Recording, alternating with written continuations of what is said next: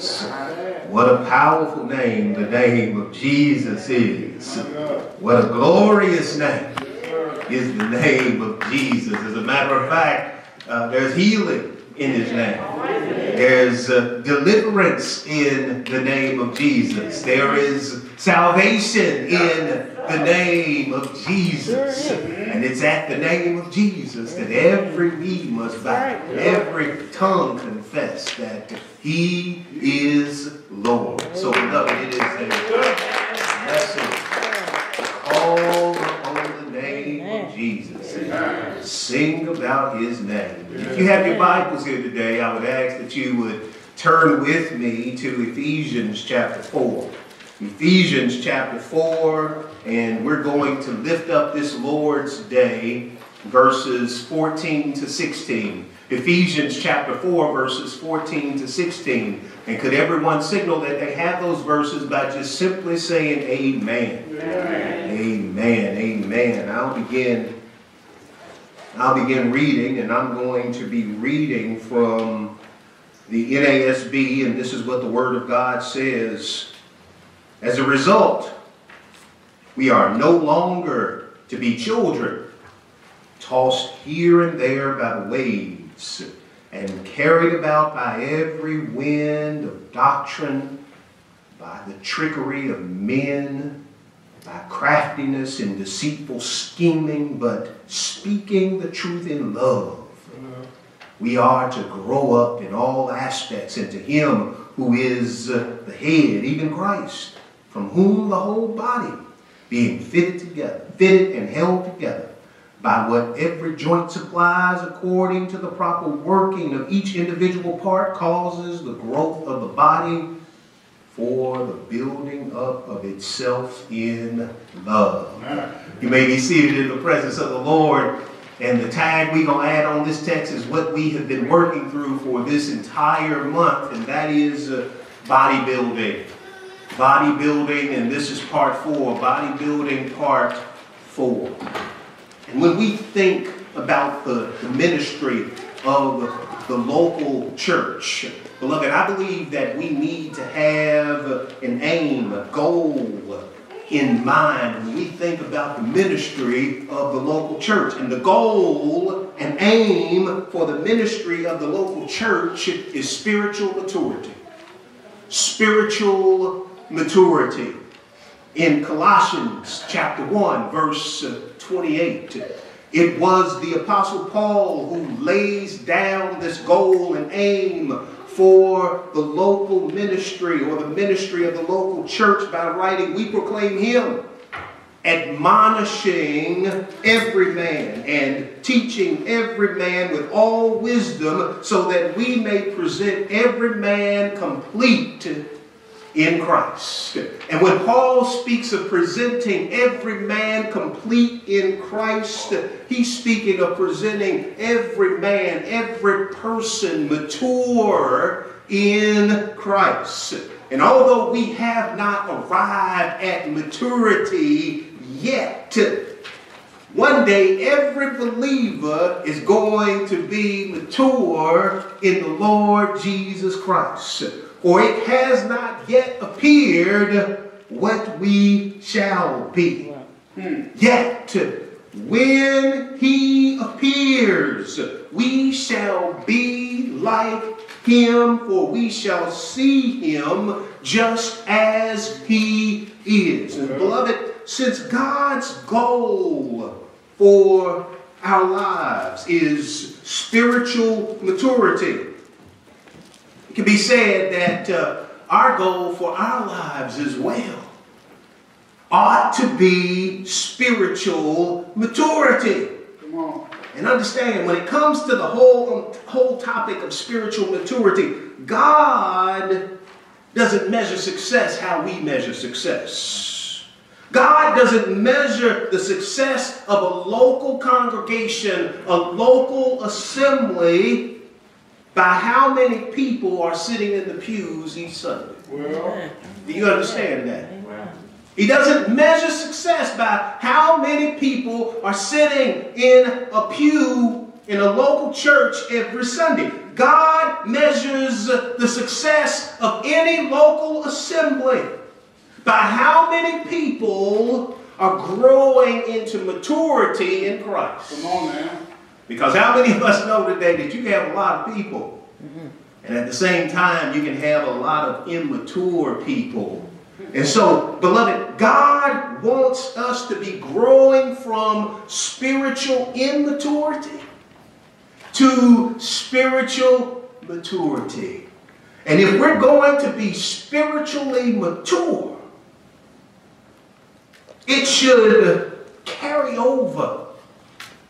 It should flow into the overall function of the life of a local church. And so the writer of Hebrews, he says it, he says it best when he says in Hebrews 5 and 12, by this time you ought to be teachers. He talks about being teachers. In other words, what I believe this writer is getting at is one of the greatest signs of spiritual maturity or spiritual immaturity, rather, in a local assembly is the lack of teaching others. Well, the lack of teaching others. Conversely, one of the greatest signs of spiritual maturity in a local assembly is the presence of mature believers who are teaching other believers. And God, beloved, has never intended for us to always just simply come to church and be taught without teaching somebody else. Amen. Amen. what are we doing with uh, what we are learning? Mm. It's not for us to hide under a bushel mm. so that nobody can see it. What we are learning, we ought to share with those who are in our proximity. And so teaching is not something that is necessarily relegated for those who are in pastoral ministry. Mm-hmm. Every mature believer has a teaching responsibility. Amen. Every mature believer should be doing some teaching. Older men teaching younger men the Word of God. Older women teaching younger women the Word of God. Husbands teaching their wives the Word of God. Parents teaching their children the Word of God. Grandparents even teaching their grandparents the Word of God. The reason being is when there is much teaching well, in a local assembly, there will be much growth. And not numerical growth, but the growth that you see from people's lives being transformed. Come on. That's the kind of growth that people ought to want to see an assembly where the saints are being equipped to do the work of ministry. As the Word of God says in Ephesians chapter 4, verses 11 and 12, that, that God has given. He's given pastor teachers to equip the saints for the work of ministry. So if the saints are not doing the work of ministry and it's just left up to a solo pastor teacher to do the work of ministry, the work of ministry is going to fall short in a lot of areas. Amen. And so it takes all kinds of people who have been redeemed by God using the gifts that they have been given to do the work of ministry. It's let me explain to you this way. It's kind of like being on a football team. And on a football team, players go to the classroom to learn the plays. And the reason they go to the classroom to learn the plays so they can be equipped when they get on the field. Mm-hmm. And beloved, the classroom is not the field. Mm. I mean, there's a lot of players who may look good and sound good in the classroom, but you really don't know how them players are going to perform until you see them on the field. come on. And likewise, beloved, Sunday morning service is not the, is not the field. Come on. Mm. Midweek Bible study, as much as we love it, is not the field. See, Sunday morning worship and midweek Bible study is, is where we come to get equipped on, to do the work of ministry. We leave Sunday morning service. We leave midweek Bible study to enter the field.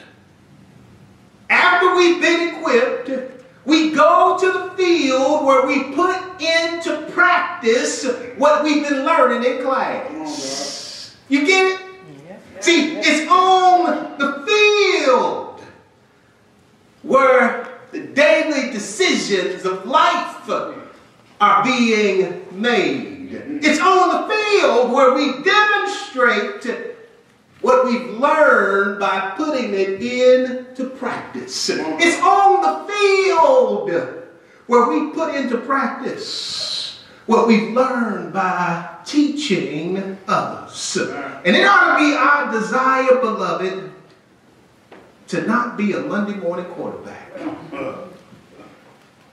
You know, after the game is played on Sunday in, the NFL, there's always these Monday morning quarterbacks who show up on various television stations pontificating about what should have been done or what needs to be done, but they wasn't on the field.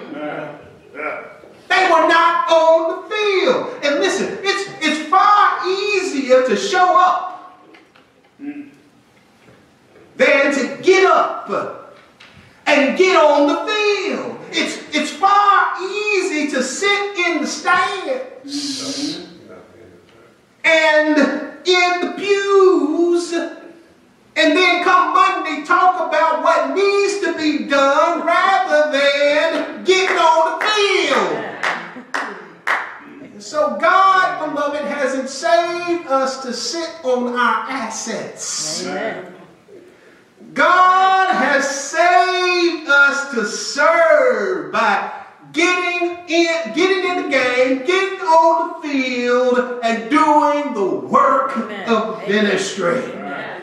Because when we do the work of ministry, we can't do the work of ministry with a bib tied around our neck. Mm.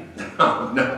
When we do the work of ministry, beloved, we do the work of ministry with an apron tied around our waist as we get on the field to serve our God who has called us and saved us.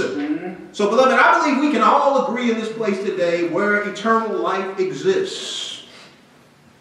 There should be spiritual growth, there should be spiritual maturity for the purpose of building the saints up into Christ likeness. And so as we have trekked our way through this particular portion of Ephesians chapter 4,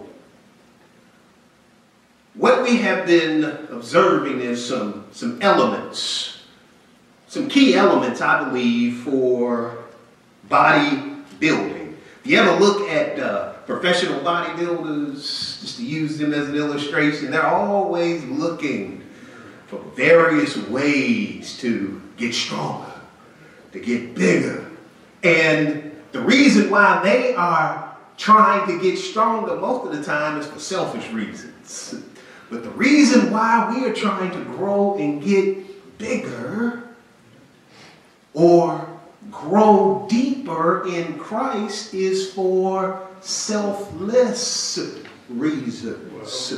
And so, as we've been trekking our way through these verses, we have observed one element called allocated grace gifts that have been sovereignly given to us by our gods. But we also have seen the need, our need for an ascended Christ. We've noticed that there's also been that we, we saw the element of the authority of Christ is seen active through his church. We saw that there was a need for an awareness of the difference between foundational gifts versus functional gifts. And then there was the element of the attainment of unity of the faith and the knowledge of the Son of God. And then last week we also looked not only at the attainment to the unity of the faith and the knowledge of the Son of God, but we also examined or looked at the element of authentically living as a mature reflection of our head, who is the Lord Jesus Christ. Mm-hmm. And so, beloved, as we work our way through these verses that are before us today, uh, the key elements I want us to hang our, our thoughts on or meditate upon are the elements of adolescence and adulthood. adolescence and adulthood. And specifically, we need to avoid being adolescents or spiritual adolescents, and we need to advance towards spiritual adulthood. Avoid being spiritual adolescents and advance towards spiritual adulthood. And regarding avoiding being spiritual adolescents, look with me at verse 14. Because in Ephesians 4 14, the Word of God says, as a result, we are no longer to be children, tossed here and there by the waves of wind waves and carried about by every wind of doctrine, by the trickery of men, by craftiness in deceitful scheming. So, beloved, we see some key words there. You know, circle children, circle waves, and circle wind. Because uh, verse 14 gives us the negative aspects of spiritual immaturity the negative aspects of spiritual immaturity. And we want to avoid spiritual immaturity. And spiritual immaturity, according to Ephesians 4.14, is behaving like children in regards to spiritual matters. Well. And the word children, understand, doesn't just mean physical age, but a childish understanding in that children often lack insight and discernment. So the word picture I picked for children is that of an adolescent. Because uh, adolescence is a very critical time of development in the life of a child. An adolescent is someone who is in the process of developing from childhood to adulthood. And in the process of developing from childhood to adulthood, there is a lot of immaturity going on. Amen. And anybody who's ever been a parent before, you can testify that there's a lot of immaturity going on. And Paul is saying we don't want to act like children when it comes to spiritual matters.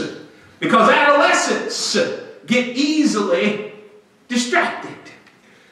Adolescents, children, they, they, they tend to choose things which are not in their best interest. Yes, adolescents tend to follow all the latest fads. You know, one week they wearing polka dot socks. The next week uh, they may be wearing uh, socks with squares on them. It's because it's just the, the latest fad. Adolescents are, they tend to have a hard time displaying delayed gratification. You know, they, they always seem to be changing their mind. Changing their minds about the style of clothes they want to wear. Changing their minds about the kind of food they want to eat. Changing their minds about the kind of music they want to listen to. Changing their minds about the latest hairstyle that they want to wear. And just like adolescents, when it comes to spiritual matters, we do the same thing. Amen. Tell tell the truth. Because we, like adolescents, are prone to always be changing our minds. Changing our minds about uh, the authority of Scripture.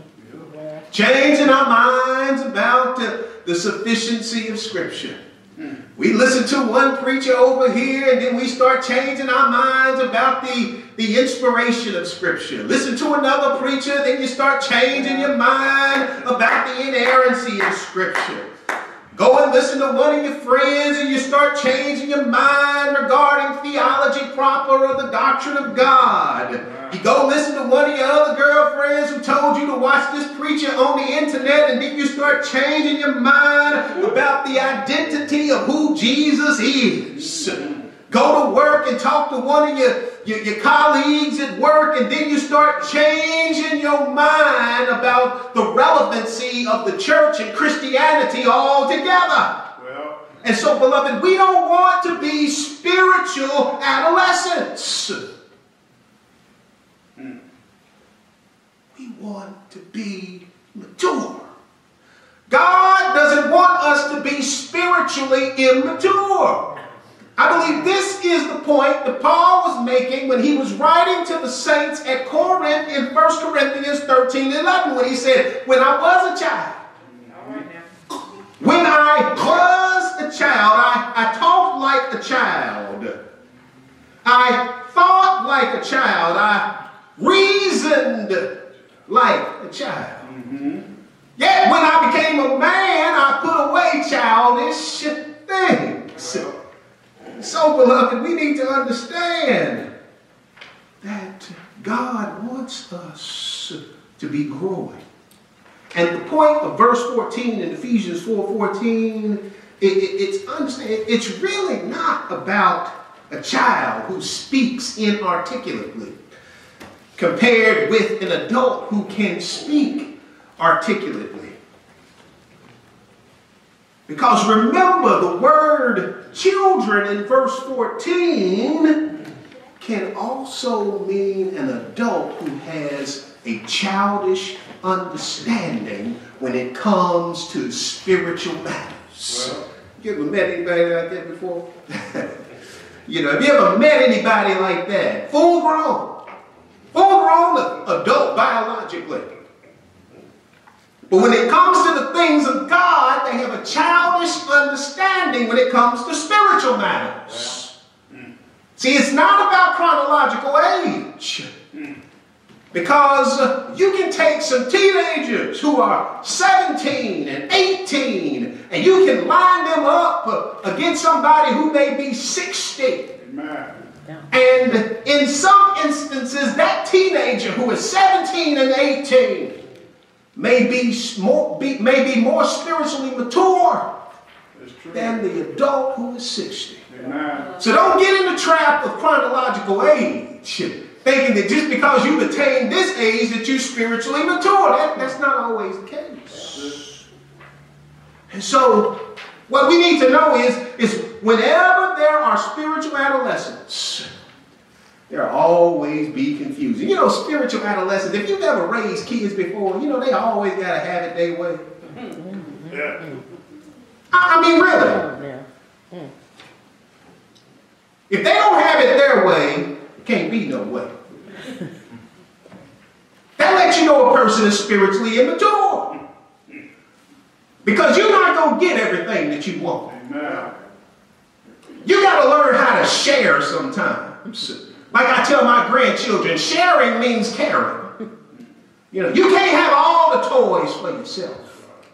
You can't have all the goodies for yourself. Sometimes you got to share with your other cousins. And we need to learn that as adults. We can't have everything we want it our way. Listen, this is not about us. Sure is. Christianity is not about us and what we want. It's about what God wants.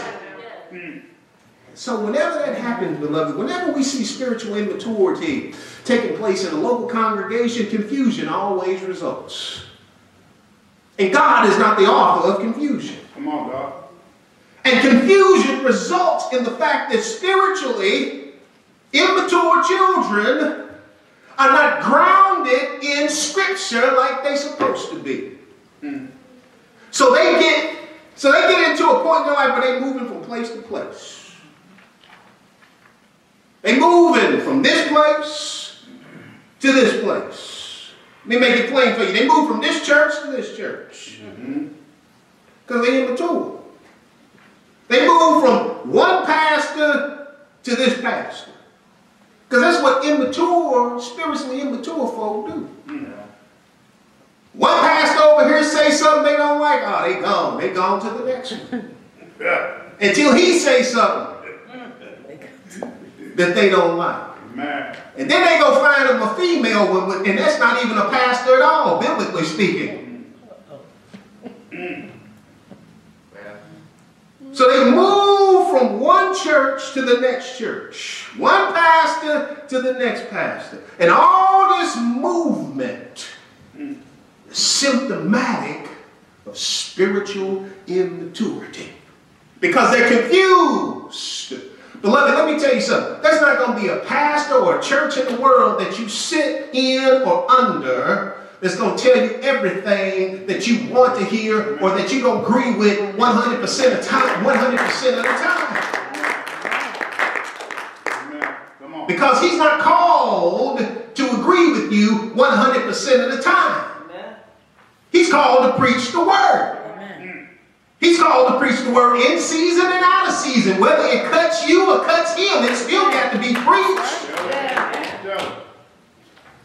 So, spiritual immaturity and confusion is also seen in how those who are spiritually adolescent in their understanding of the Word of God and applying the Word of God to their lives and how they react to those who are trying to turn them away from the faith. Well, mm. I mean, it comes time in our lives where if a Mormon come to your house, you be look, you ready.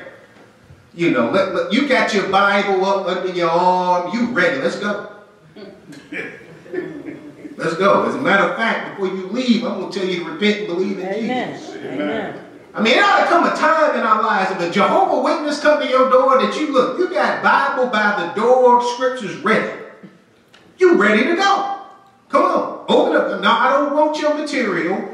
This is what I got to tell you. Mm. You understand what I'm saying? That's right. You know, there ought, there ought to come a time in our lives when you see a prosperity teacher telling you something that where you always got to give to get something from God that you ought to be like, man, what you talking about is crazy. Where you get that at in Scripture?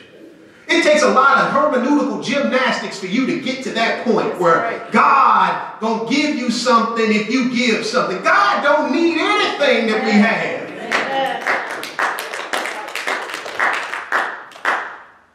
So, the threat of those who are always trying to turn us away from the faith was alive and well in the first century, and it's alive and well. in the 21st century. Lest we forget the backdrop to the whole book of Ephesians.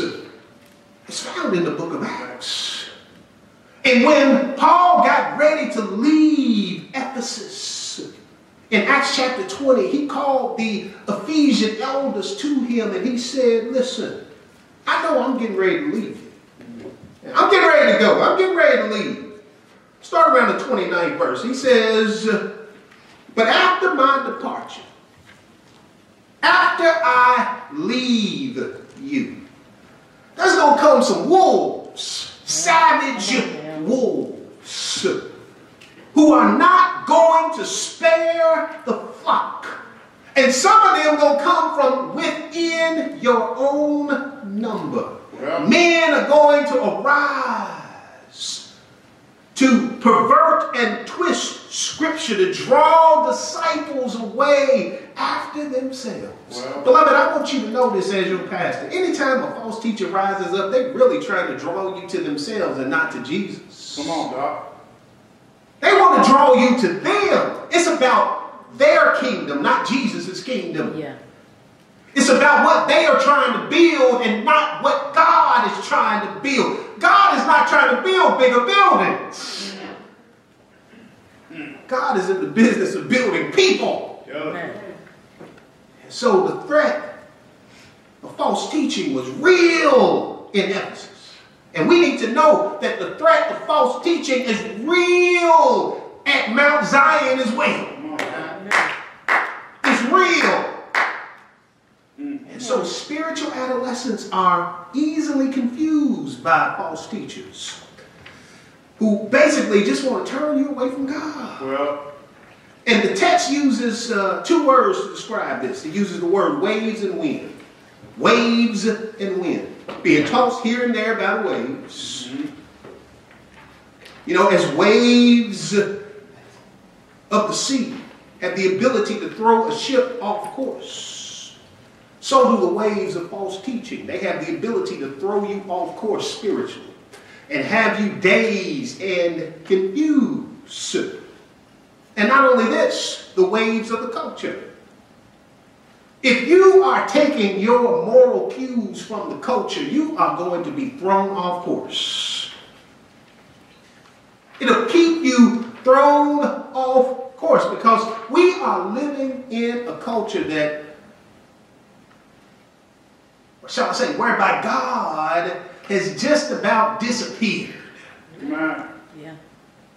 We live in a culture that has re- embraced religion without God. Mm-hmm. Don't y'all ever forget all that protesting and stuff that y'all was seeing two years ago in, in the city of Louisville? Mm. There was more religion going on than anything else. People saying mantras, chants, pouring out libations, even praying. I didn't even know what some of them people were talking about. I didn't know what God they were talking about. And so we have religious institutions. We have spare rituals, strange rites that are popular but devoid of the biblical Jesus. Well, hmm. That's the culture you're living in. Yes, it is. So we have a culture today that has created what I call a design of God. A culture in which the founder of the Salvation Army, William Booth, said, and I'm quoting, where there is Christianity without Christ, forgiveness without repentance, salvation without regeneration, politics without God, and heaven without hell. That's right. Because y'all do know that when everybody, when anytime somebody dies, you know, there's this temptation for folk to want you to preach whoever it is into heaven. Because we've been lured into this mindset in our culture that everybody who dies goes to heaven. And if we are not careful, talking about the saints, the waves of the culture, the waves of false teaching can throw us into such a state of confusion that we shipwreck our own faith. tell it. Mm-hmm. Yes. So there's not only the waves, there's the wind. And the wind, if you look closely at the text, the wind specifically speaks to teaching. Teaching. Teaching done by the trickery of men, by craftiness and deceitful scheming. Men who have as their goal to lead the undiscerning astray. So they, they utilize craftiness. They, they utilize deceitful schemes to draw you away. Well, And beloved, this is often done from behind pulpits today. well, mm, And the reason it's done is because in many pulpits across America, you have preachers and pastors who have lost confidence in the Word of come God. on, Doc. Mm, And because they've lost confidence in the Word of God, they will not teach what thus saith the Lord. Mm-hmm. You get more politics and their heart issues, whether they be presidents of certain universities in the city, they talk more about that and they talk about Jesus. Mm-hmm. And, that, and the reason that happens is because they've lost confidence in the Word of God. my God. And what ultimately happens from behind the pulpit flows into the pew. Mm-hmm. And so, beloved, the word picture for trickery in the text is that of loaded dice. Mm-hmm. The wind of the trickery of false teachers is like that of loaded dice. Hmm. Anybody ever been in a BC life and you done played dice games before? And, and, and you know they shake them up. Shake them up, shake them up, shake them. They blow. They blow on them. Back go little Joe. That's the word picture. Somebody is in a dice game, in a game where these cubes are being used to play this game, but the undiscerning doesn't realize that they're being fooled. The undiscerning doesn't realize that a trick is being played. Well, And so the undiscerning, what they end up doing is buying in wholesale to what the person is tricking them into do. They get deceived by the craftiness of Satan, who's the mastermind behind all false teachers. And what it really is is counterfeit Christianity.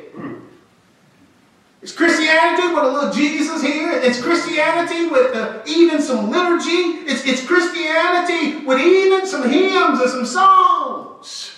But it's devoid of the Word of God. come. It's devoid, devoid of believing in the authority and the sufficiency of Scripture. What I'm trying to tell you is spiritual fakes look like the real deal, but they're not. Come on, Doc. They more like Judas Iscariot than Jesus.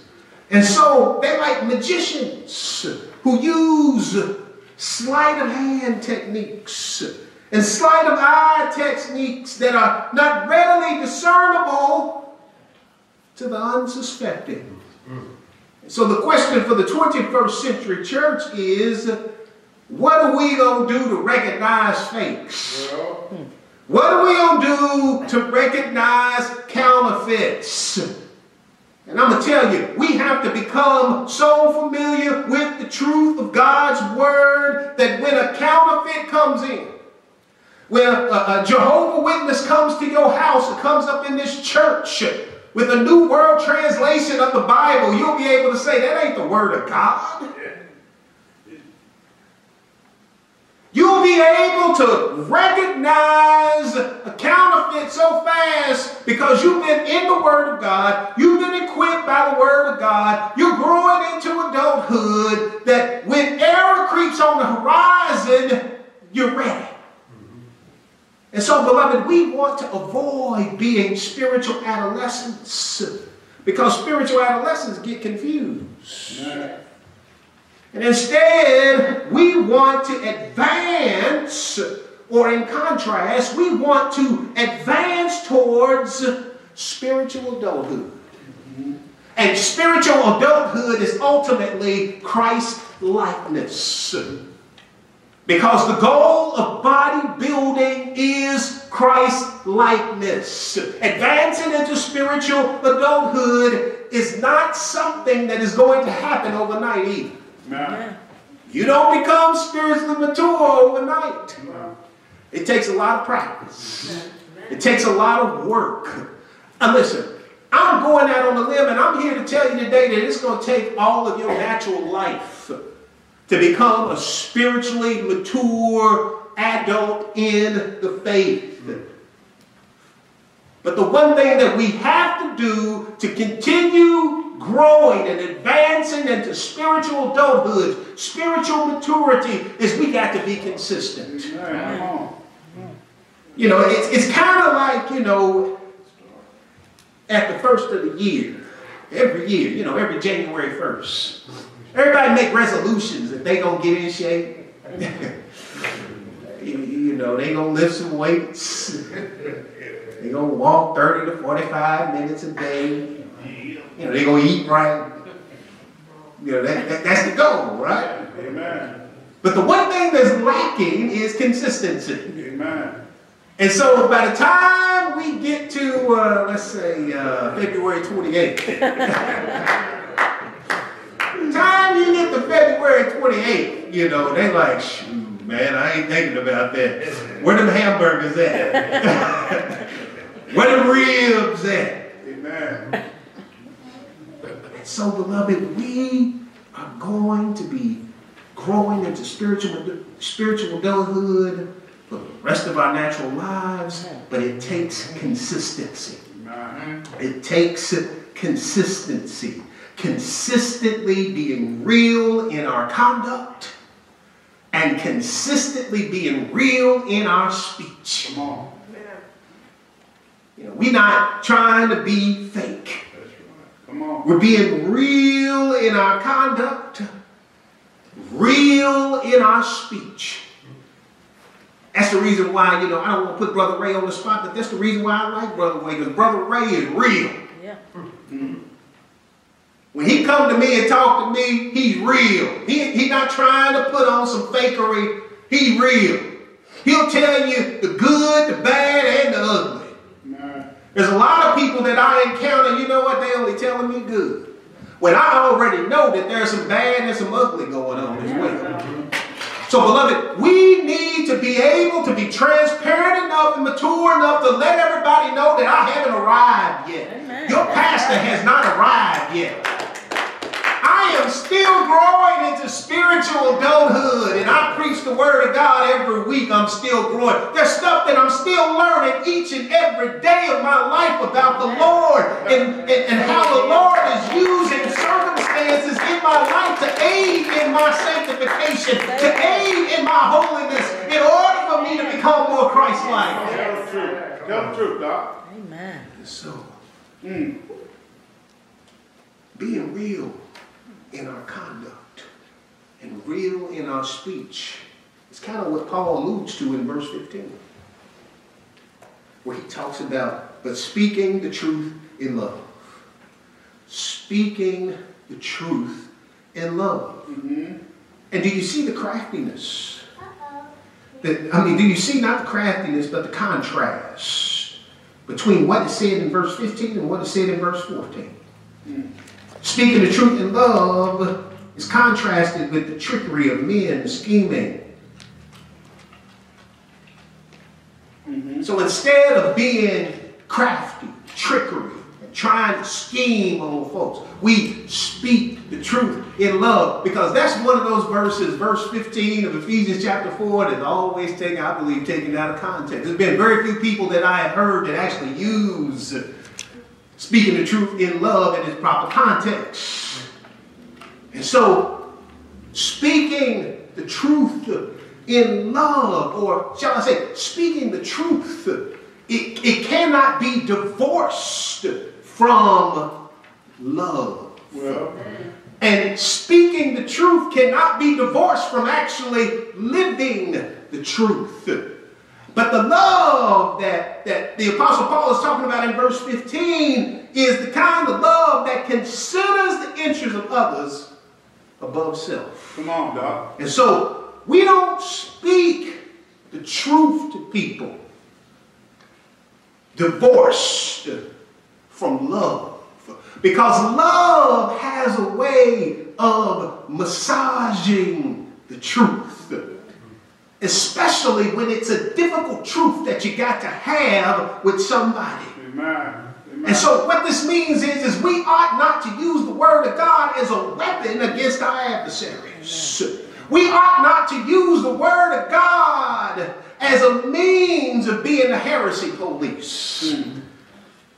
You know, every time somebody is saying something, listen, we trying to, we ain't listening to see if we can, can learn something. We listening to see if there's any heresy in what they say.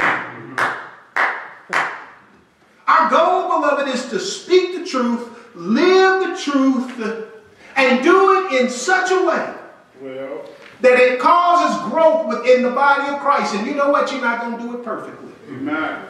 You're not going to speak the truth and live the truth perfectly. But it does aid in the growth of the body because verse 15 says again, but speaking the truth in love, we are, we are to grow up in all aspects into him who is the head, even Christ. The goal is for us to grow up into Christ. Christ who is our, our head. Our head who supplies the church with the resources it needs to accomplish the work of ministry. Any ministry that we do, you're not doing it in and of yourself. You're doing it because Christ is the one who is supplying us with what we need. And as we are doing the work of ministry corporately as the body, we'll find that the body is growing into Him who is our head. So again, this is not about quantitative growth. This is qualitative growth. This is not about nickels and noses. This is about people who are collectively and individually growing up into our head who is Christ. Come on, God. Because God, beloved, whether we know it or not, wants us to be maturing spiritually. He wants us all to be growing up spiritually. As he says in his word in 2 Peter 3 and 18, we are told, beloved, to grow in the grace and the knowledge of our Lord and Savior Jesus Christ. So spiritual growth is about becoming less like ourselves and more like the Lord Jesus Christ. And since Jesus is the object of our growth, and since Jesus is the standard for our growth, it should be the desire, the thirst of every believer to want to be like Jesus. Oh, yes, that, that should be your highest ga- aim and goal. That is to be like Christ in your life. Because understand, the growth into spiritual maturity Well, is something that requires activity and not passivity. Amen. It requires activity and not passivity. Growth into spiritual maturity is actively accomplished through our interconnectedness to one another in Christ. come on. Do you hear what I'm saying? Mm. Because this is what the Apostle Paul is unpacking for us in verse 16, where he uses two metaphors to describe the church. The first metaphor that Paul uses in verse 16 is a body. The second metaphor that Paul uses in verse 16 is a building. He says being fitted and held together. well, And the question we must be asking ourselves is how is the body and the building being held together? Mm. How is the church going to be held together? Because the text again, it says in verse 16, every joint supplies according to the proper working of each individual part. Did y'all see that? Each individual part. Each individual part. What this means is, is I got a role to play. Ray got a role to play. Sister Harris got a role to play. Sister Pam got a role to play. We all got a role to play. Because the joint is not mortar that is put on some bricks on, to keep uh, bricks in place in a building. We are being held together, fitted together, and growing into a holy temple. As Ephesians 2.21 talks about, we're growing into a holy temple in the Lord. So, we have growth in Christ because Christ is the head of the body who is supplying the body with what it needs to grow. And so there's not a building for Jews. There's not a building for Gentiles. There's not a body for Jews. There's not a body for Gentiles. There's one body. There's one building composed, comprised of both Jews and Gentiles that is being fitted together in Christ. Let me make it plain. There's not a black church. Come on. There's not, there's not a white church. Come on. There's not a brown church. There's just the church that's being fitted together into a holy temple in the Lord Jesus Christ. We're not growing independently from one another. We're growing interdependently upon one another. And if we are to grow together, we got to stay connected together. Man. Tell it. Yes. Tell it, dog. And we can't connect with one another being isolated from one another. My God. Amen. That's the reason why I disdain this church from home thing. Because spiritual connectedness mm-hmm. doesn't happen when we in silos, sitting in front of an iPhone or a television. Spiritual connectedness happens in the context of a local assembly. Work. And so understand the whole body, the entire body functions as a unit. Come on. Don't you know God has not placed you here by accident? Amen.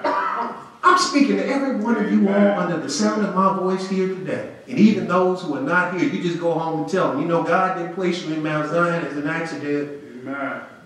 He placed you here because God knows there is something that you need to do in this body in order for this church to grow spiritually mature in our head, who is the Lord Jesus Christ. And if you are resisting what God is doing, Come on, dog. then you're causing the body not to grow. Amen. You're causing the body not to function properly. I don't care how old you are, God got work for you to do. Amen. He got some work for you to do. If it's just picking up the phone and calling somebody and saying, hey, baby, hadn't seen you. I'm just letting you know I'm praying for you. Listen, that's work to do. Amen. Amen. So each individual part has to do its work in ministry to cause the body of Christ to grow. Every Christian has a responsibility to do their best. Amen. Even two people with the same gift will not have the same gift at the same level because we're all growing at different paces. But yet, each person, even the same people, two people with, with the same gift, they can still do that same gift to the best of their ability to help the body of Christ to grow into maturity. Amen. Because with each person doing its part, with each part of the body doing its part, you know what we're doing? We are body building through and in love. Because you see, that's what Paul says. The growth of the body for the building up of itself in love. So, the church is not built up by gimmicks. The church is not built up by the latest Christian fads. The church is built up through love. See, if we love the body, it's going to flourish. Come on, dog. Yes, if we love, the body is going to grow. And if there is no love within the body of Christ, the body is not going to grow. Wow. The body is not going to flourish because we can't body build effectively if we got hate in our heart. We can't body build effectively if we don't have love in our heart, if we have the fear of change in our hearts. We can't body build effectively with pride in our hearts. We can't body build effectively with arrogance in our hearts. Because hate, fear, pride, and arrogance don't aid us in living like the Lord Jesus Christ. And so, if we want to look like Christ, if we want to live like Christ, we got to be known as people who love like Christ. And the reason we got to be known as people who love like Christ, because it was Christ Himself who said, that by this all people will know that you are my disciples. In other words, if folks see us loving one another as the body of Christ, they'll say, listen, those are the disciples of Christ. Come on. As a matter of fact, beloved, if I could just make it plain for you as I draw near to my close, God is love. And since Jesus is God, then Jesus is love. Uh, if I could even make it more plainer to you, I would tell you this that everything that love is, Jesus is because of who he is. Yes, love is patient because Jesus is patient. Love is kind because Jesus is kind.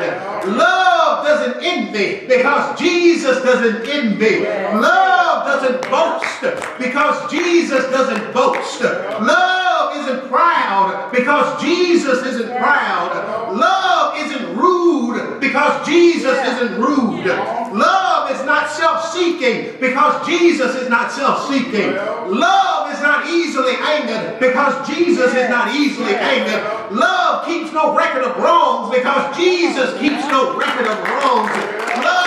Doesn't delight in evil because Jesus doesn't delight in evil. Love rejoices with the truth because Jesus is the truth.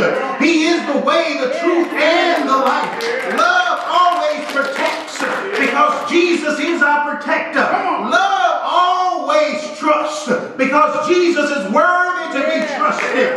Love always hopes because Jesus is our blessed hope. Love perseveres because Jesus perseveres.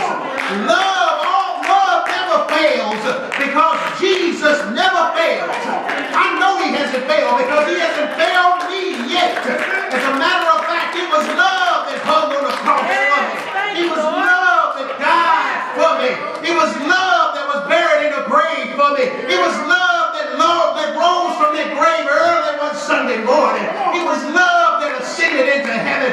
It's love that's preparing a place for me. It's love that's interceding for me. And it's love that's going to come back and receive me into his kingdom. So until our love Preach the word, God. returns, until Jesus returns, Yeah. we have to be about the business Amen. Of doing the work of ministry mm-hmm. in order to aid in the growth of the body. Word, God. As we are doing the work of ministry in order to aid in the growth of the body, we cannot take credit for any growth that happens. Come on, God. Don't give me the credit, right. and don't you take the credit. That's right. But all the credit belongs to Jesus. All the praise belongs to Jesus. All the glory belongs to Jesus. Tell it. No wonder the psalmist said, Bless the Lord, O my soul, and all that is within me. Bless his holy name. So, beloved, let's go grow together. Amen. Let's serve together. God bless you. And may heaven smile upon you. Perhaps there's somebody here today who doesn't know the Lord Jesus Christ as Savior and Lord. The Bible just basically says that if you confess with your mouth the Lord Jesus and believe in your heart that Jesus Christ is Lord and that God has raised him from the dead, you shall be saved. So if you want to know more about what it means to be a follower of Jesus, come see me after church. And I'll do my best to explain what it means to be a follower of the Lord Jesus Christ.